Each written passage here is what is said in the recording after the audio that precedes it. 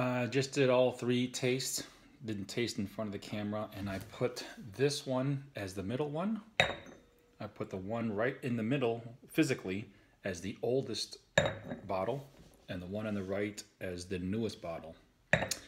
I'll be honest with you, I could not tell the difference. It was a complete guess. They taste 100% identical to me, and as it turns out, the one I called the oldest, number one, is actually the newest. so, Coravin, worth it.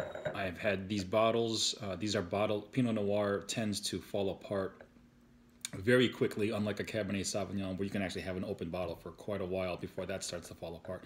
Pinot Noirs fall apart very, very quickly, which is why I used Pinot Noir in this experiment.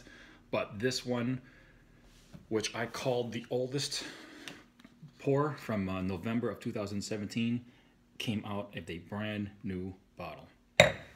Can't tell the difference. Nice job, Coravin.